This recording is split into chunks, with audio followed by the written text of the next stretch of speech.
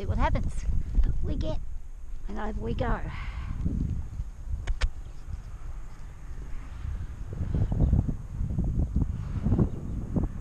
Girl.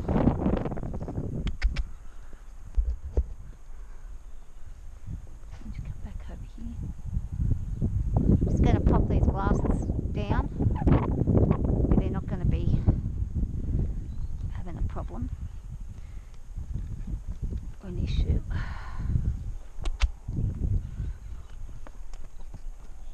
Ah, now she's doing her behaviour right now. This is what we played with the other day, and we're gonna. I'm gonna say to her, we're not gonna start that shit.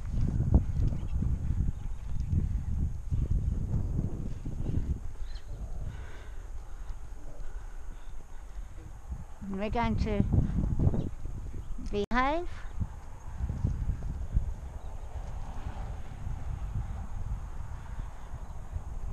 And go around as we're supposed to do.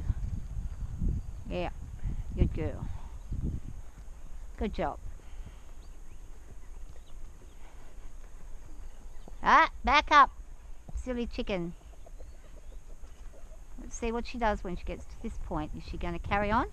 Or is she going to listen? She's going to listen. That's better. She's testing me already. So we have to walk around and around and around. That's what we'll do. If that's what we've got to do, that's what we got to do.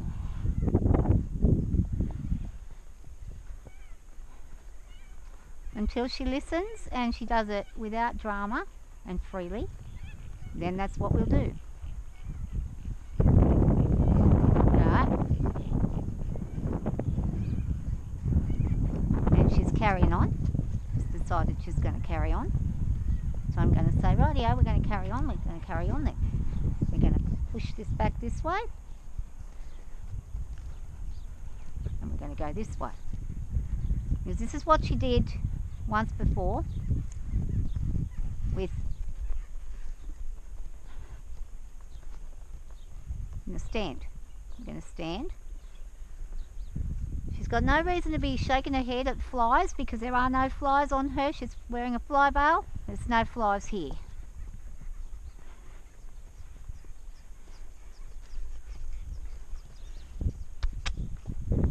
Ah.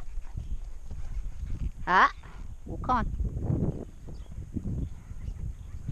Yeah, this is just really silly behaviour.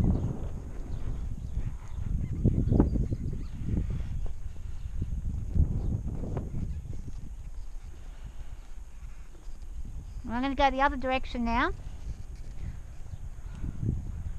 Just watching her, seeing what she's doing. She's trying to get out of me moving her.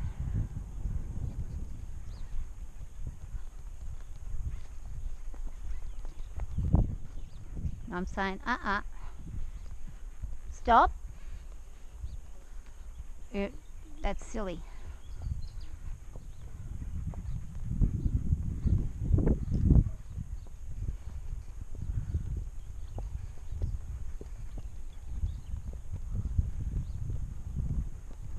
Good girl. That's right. Good girl. Drop and relax. Good girl.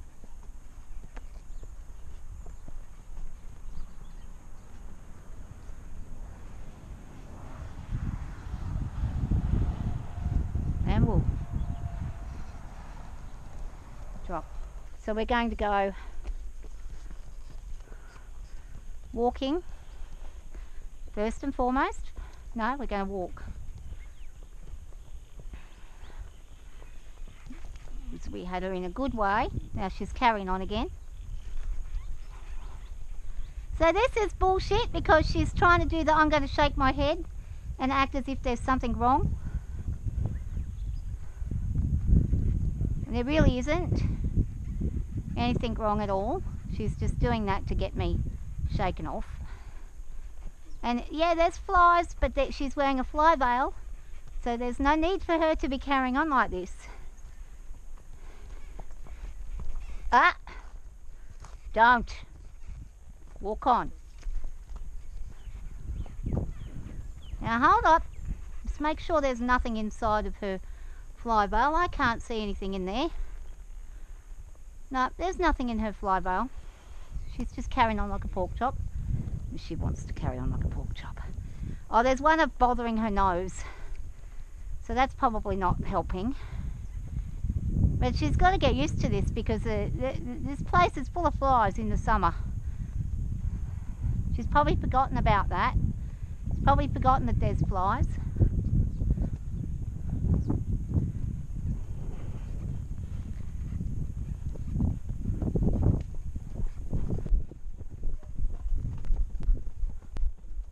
Good girl. Ah. Trot. Trot.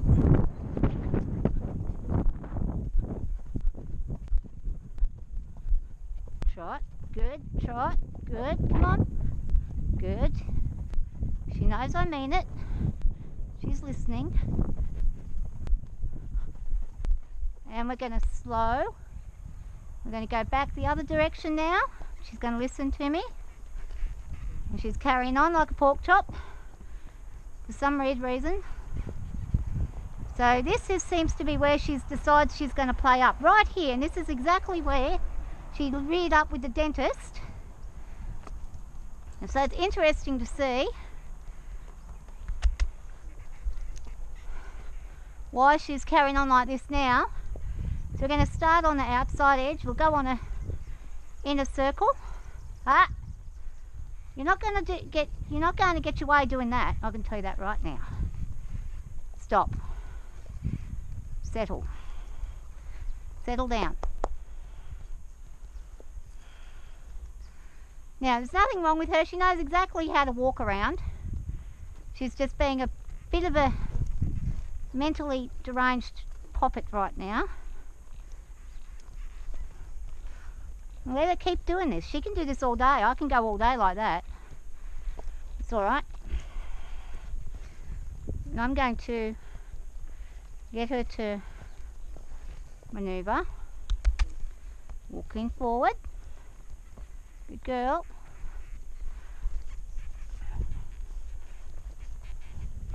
And she's not listening, so I'm going to get her to turn and walk forwards. Now the difference, the way I know this is behavioural, because when as soon as I get past a certain point, she's more than happy, right? More than happy to, right? Good. Drop.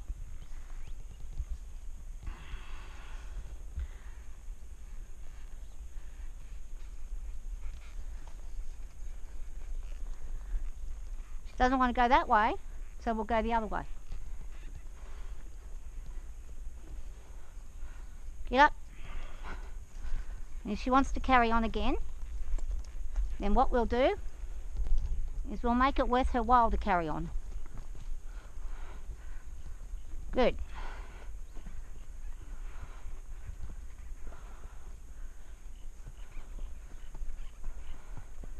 Now we're not going to trot around here, we're just going to walk. And we're going to walk straight past that same spot that she played up in and see what happens. This direction, nothing happens. Why? Because she wasn't facing this direction when the debarblement happened. She remembers everything, this horse. So whenever she was rearing up, she was facing the other side. And it worked for her. We all scattered and she got out of having to get things done it is reinforced to her that she can do whatever she likes, but I'm going to have to stay on and ride it out. And I can't allow her to allow that to be the way it's going to be. So how do I do that? Well, I have to change direction without her realising I'm changing direction. And she's realised it already. So I'm going to stand her in this direction. And I ask her one step at a time, walking slowly. I know that the flies are annoying because I've got flies bothering me too. I get it. But they're not just one-sided. Flies don't just stay on one side. But there could be a reason why she's upset at this side. So I think it's to do with the dentist. I'm pretty certain about it. As soon as she's heading towards the gate, she seems fine. But as soon as I pass the gate and then start heading towards down here, this is where she decides she is not a happy camper. Now let's see if we can get her to go past and walk through that.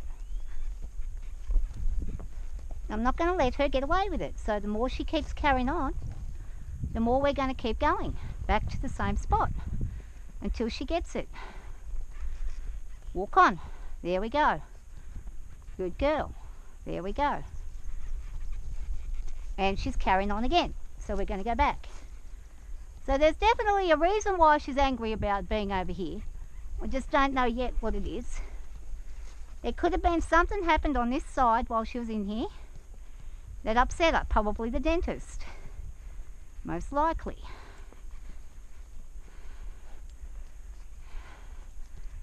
We need to keep moving round.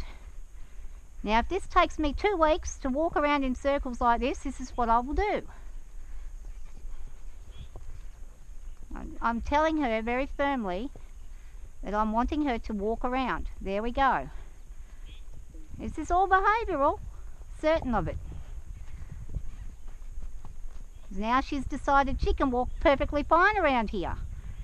It's got nothing to do with anything being wrong and everything to do with psychology.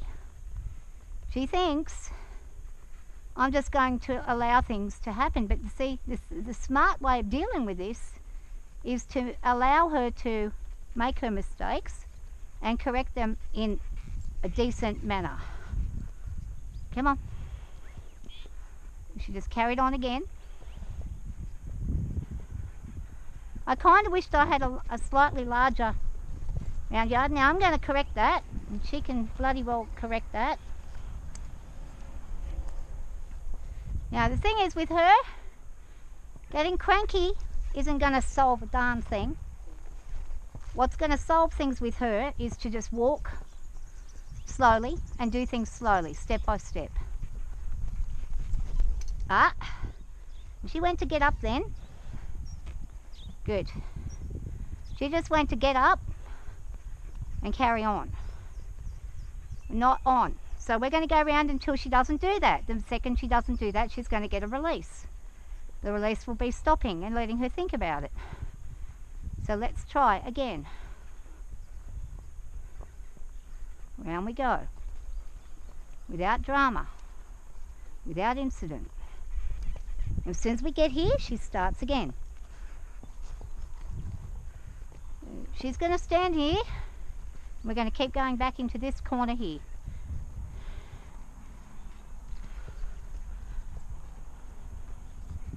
Good. Good. And we're going to go back into the corner until we walk, walk through it. Now this might take me a couple of weeks of consistency because it did before. She's not a horse that will just do it because she remembers it. She'll do it because she wants to do it. If she doesn't want to do it, she'll give you a hassle. She wants to go out and eat grass. I don't blame her. I was a teenager, I'd rather be doing the things I'd want to do too. See, this time she's not giving me as much angst. She's thinking about it though, and she's probably going to try it at this point over here. The second I start there. We're not going to go any further in without going round like this. And that's it. And because she gave me trouble again, we're going round again. So that's how many times now. We've got several times we've had to go round. But I'm not having to whip the crap out of her or attack her or do anything like that. I'm just asking her to walk. And I'm correcting when she's not listening. If she's getting her shits, and that's fine. She can get the shits all she likes. I've got patience and a lot of it. That's what you need with a young horse, extreme patience. Getting aggressive with them will not work, ever. And she does it again. So we're going to practice again. And this is all part of just the education after the breaking. The breaking's is probably the easy bit. The education afterwards is the hard bit. It's getting them to listen every time you want them to. So you get a good horse. She's young. She's going to defy. Not quite four yet. She'll be four next month. So when they're four years old, they challenge. Most people don't even think about getting on them until they're after four. So, and a lot of it's to do with letting them have their teenage years carrying on and being silly, letting their mother do their job. The longer you can leave them with their mum, the better, the more they're going to learn. The bottom of the pecking order, and they have to respect their way back up. And it's the same with you on their back. They've got to be respectful of you. Well, they don't have to. They can they can literally decimate you in seconds. But if you gain their respect enough, they will listen, like she's doing now. All that angst about being silly and deciding she wasn't going to go where I've asked is starting to stop. And she's going around this time. And this is the first time she's gone around without a drama. And she's increasing her pace there just a little bit, which is really good. She's understanding now. Oh, that's all you were asking me to do. When I do it, I don't get a backlash. I just get a nice smooth walk. And that's easy. It's much easier than fighting me. Whether she keeps doing it, it's a different story. I want her to do it at least another time without any... No, see, she's done it again. So we're going to go around again. And she's going to try and test me again. She says, I'll give you one and I'll test you with the next one. See if you really meant it. So we're going to go around again.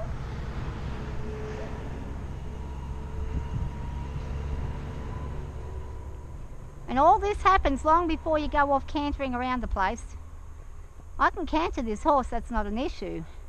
But I want her mind to be in the right place when I do it so that she doesn't decide she's going to suddenly take off and do what she wants while I'm in the middle of cantering. What I want to do is give her a nice loose rein. Let her get in there. There we go. Lovely. And we got a beautiful walk there. That was really nice. So let's try again. Let's go around again.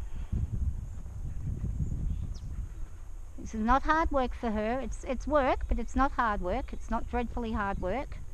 Let's see if she does it of her own volition this time without too much direction and see if she'll listen and go around without drama. drama. So far so good. I've got a nice loose rein on her. I'm steering with my feet and she's listening beautifully. She's doing a great job. All right. So now let's change things up and let's go in the other direction. And then we'll come back around again and see if she plays up next time. Because that's the direction she plays up in. So see how she goes. We'll go into a trot this way. We'll do a trot round. Nice and slow trot. Easy, easy, easy.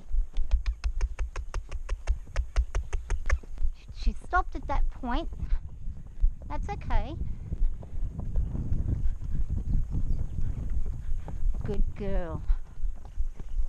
Good girl, there we go. Almost a full revolution. Almost got it. Whoop, she went to go into a little cantery thing there. And there we go. And walk. Walk down. Good girl. That was really good. Now we're going to try this direction and see what happens. See if we have problems. We're going to start with a walk round first, just to be certain that we're not in trouble again, that we haven't forgotten what we just did half an hour work on.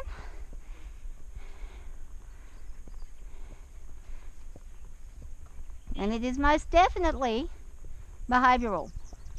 She's remembered at some point in time where I've allowed her for just a second to get away with something on that side, right in that spot, and she's decided she's going to keep doing it.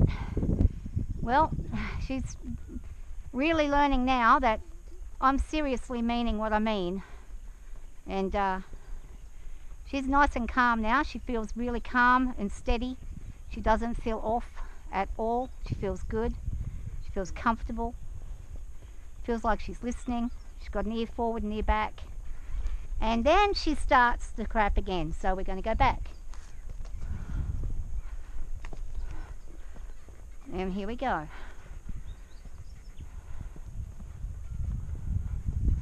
There we go. I'm going to give her the loose rein again and see how she goes this time. Walk on. Good. And this kind of work, it's hard work because it's boring. It is boring for most people would get sick and tired of doing this repetitively. But this is what you've got to do if you want to get a very dominant horse to comply and, and behave well when you need them to, which is always. 90% of the time you want, them, you want a horse that's listening to you as much as possible. They won't always 100% do it, but so now we're going to ask for a faster walk into a small little ah, and this is where she says no, I'm not going to listen. So I'm going to get her to get back there. We're going to start again. Ah. And she says, I'm going to carry on like a pork chop and that's going to make you think that something's wrong and you're going to get off me. Soon as I ask for a trot here, she starts this shit. And there's flies, there are flies around, don't get me wrong. There are flies everywhere. That's not gonna that's not gonna stop us because the flies are on the other side too. So why is it she's only complaining on one side? Well, again, where the dentist was, where she was able to rear up and get away with things.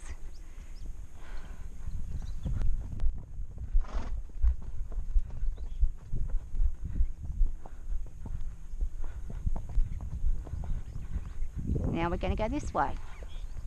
And she's going to behave herself while we do it. We hope.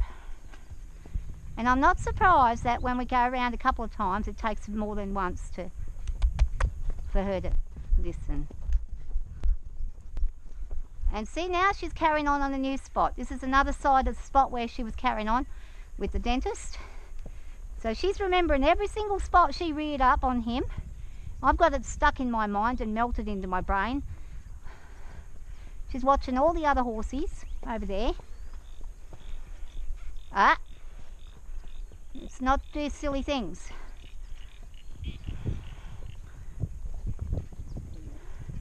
We want to end on a win here.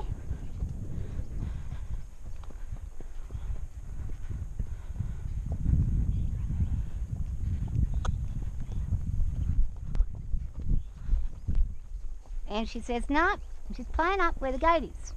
So what we're going to do is we're going to work around the gate area. We're going to go around there. We're going to face her straight at the gate.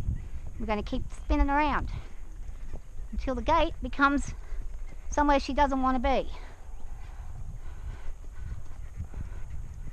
And then she'll be more likely, much happier, to stay this way.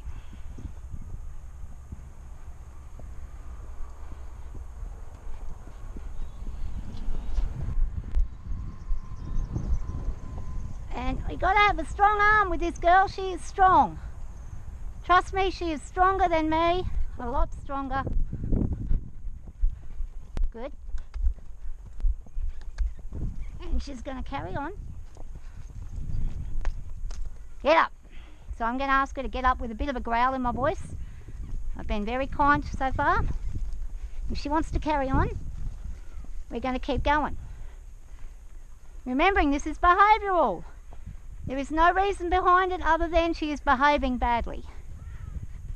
She thinks that if she gets to certain points, she's remembering where I freaked out before in the past, and she's using those points where me and not just me, but the, the male dentist that knew what he was doing, uh, she, she pulled the wool out from under both of us. We had no choice, we had to do what we did.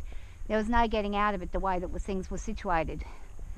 And in hindsight, it would have probably been better to have done a bit more training around the actual dentist coming and seeing her before trying and attempting anything. But the thing is, that's time and money, and he doesn't have time to do that when he can be doing teeth and making a lot of money as well. So, really is. Now, see how this time she went round without a drama in, at a walk, where she's becoming reluctant at a trot. Now I know she can go around without being reluctant at a trot because I've done it several times with her. So we're going to manoeuvre ourselves and let's just make sure. See, no resistance whatsoever there. Trot. As soon as I said trot, and we turned in that direction. So she's just going to make herself have to work 10 times harder. And I'm going to have to get hard ass on her the way that her breaker would if he was dealing with her now. He wouldn't be tolerating any of this. He'd probably be putting her into a big sweat first. He wouldn't be as patient, probably. He hasn't got time for this shit. Well, I haven't got time for it either. This is all behavioural. So, giving her an out by, if you do the right thing, you're going to get released, is the only way to work. You don't get released until you've done the right thing.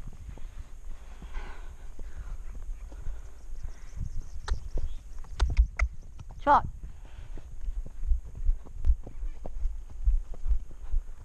Trot.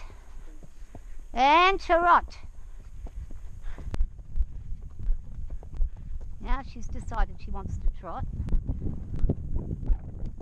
Now she's decided she's giving in. See? Look at that. Look at that. And she's decided that is what is right. She's giving me, that took all that time and walk, walk. Took me all that time just to get that. So I'm going to release her for a second. I'm going to let her stand for a minute. You just saw how long that took to get that good response from her. No one got injured. She's probably a little bit hurt with her pride at the moment because I made her move and we got what we asked for. But that's a good way to do it. And she's going to probably defy me for a couple of weeks before she gets back into the consistency and the reality of ah this is going to happen every every almost every day five days a week this is going to be happening i get two days off i need to think about it and i need to cooperate and work and once we're done, our, done with our work then things are much better now let's test the theory we've given her a couple of seconds to sit and think about all this and she seems very relaxed and very happy I'm going to see if she'll, if she'll give me a trot around again as well as what she did. But I'll go the other direction first. Trot. And see whether she'll listen.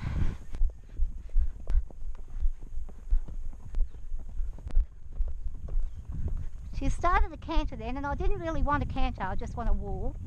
Just want to trot. Wall. I know you've got a really nice canter, but I don't want to canter. So now she's starting to play up on this side now because I'm not listening. She wants to canter and thinks it'll be over and done with. Trot. If I canter her. Ah. No, trotting, walk, trotting slowly. So I'm going to rise, I'm going to not rise the trot, I'm going to sit the trot and see if that helps. And it is. It is helping. And she's relaxing. And that's good. Now I'll rise the trot and see what happens. not scooping. I'm not scooping. We're not scooping. We're just trotting nicely. There we go. Good girl. Lovely. Lovely. And, whoa. Now we're going to turn the other direction and see how we go. We had a little bit of a hiccup at the beginning of that, but that's not too bad. And this is what you're going to really see when you really, really, really, really, really need to, when you've got young horses, send them to a breaker and a trainer, this is what goes on. And that's a good breaker or a good trainer who is willing to spend that time and have the patience. Others will whip the crap out of your horse and get them in line. But then what happens is if you come back to them, they come back to you and they're not responding unless someone's got a, uh, got a, going to crack them over the noggin, then you got no control because you, you got nothing to basically put a threat on them. So you've got to work from you, you're best to work with a trainer that doesn't threaten, a trainer that teaches, that's gentle. Firm but gentle. There's a difference between being abusive and being firm. Massive difference. Trot. I'm going to sit the trot as uncomfortable as it feels to my and she's cranky because she wants to hut so we're going to sit the trot. This is the way we had problems before.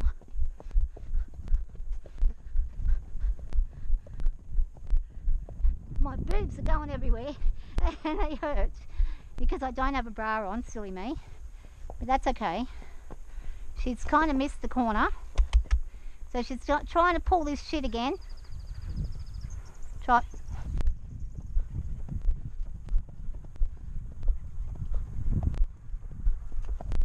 Trot, good, trot, good, trot, good, good girl. Trusting you. Trotting, lovely. She's doing a great job right now. One more go and then we're going to give her a break and walk. Walk. Uh, I didn't mean walk now. I shouldn't have said that. Okay. Gonna go back one more time. One more one more round. One more round and we're done.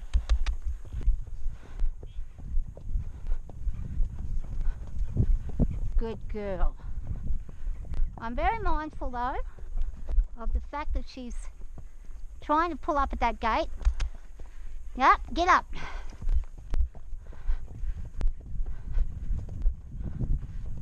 Thinking if she goes really super fast it'll all be finished with. There we go. Now she's relented again. She's understood me. She's tried to get out of that one, so we'll go around one more. Good girl. Good girl. All the way. Good girl. Good girl. Good girl. I'm going to seat back and I'm going to let her slow down and walk. Good. We'll do one walk around as a, as a, as a reinforcement. I'm extremely happy with her behaviour today. She's actually far better behaved today than she has been.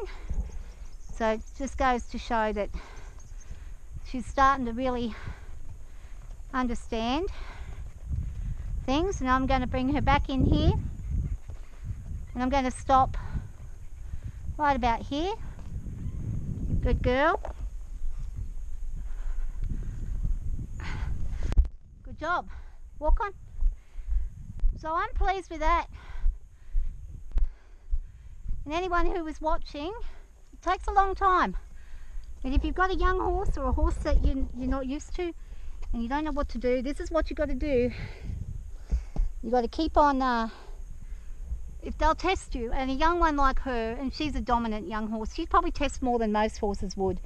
But the fact that she's we've gotten past that hiccup that she didn't like and that's a good thing. So we're going to release her now from her work gear. And she's going to be extremely happy about it. Good girl thank you. But I'm glad that today I didn't ignore my instincts, which was this is just her taking the mickey out of you. And you got to let her let her understand that there's a definite consequence for, you know, naughty and silly behaviour. So, but anyway, she did really well. And the consequence for that is just you've got to work a bit harder and a bit longer. The sooner that you actually listen and behave, all that energy could have been finished with. So, but thank you guys for watching, and uh, I'll catch you another time.